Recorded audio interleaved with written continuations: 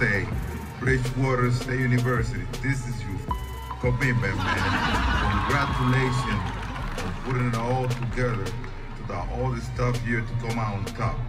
I mean, all the hard work uh, and being able to graduate today is something that you guys never gonna forget about.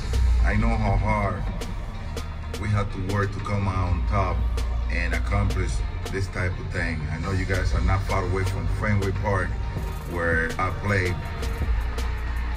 Drives it to deep right. A new Red Sox single season record for home runs. I also know that uh, Bridgewater State University is a place where I know that a lot of great things are going on around there. Uh, I'm very proud of congratulating you guys on a day like today. Let me tell you, I'm a guy that I come from a very bottom.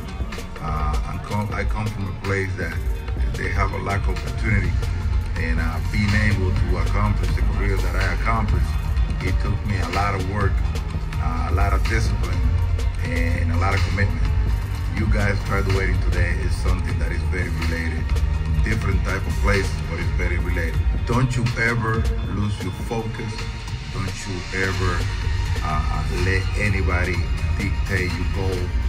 Make sure you have a goal in life so you can fight for it because that's what life is all about.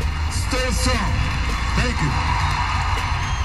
So congratulations uh, to all the students. ABSU, every day is a great day to be a Bear. So congratulations, man. I'm very proud of you. Enjoy life, man. God bless you all. Go Sox.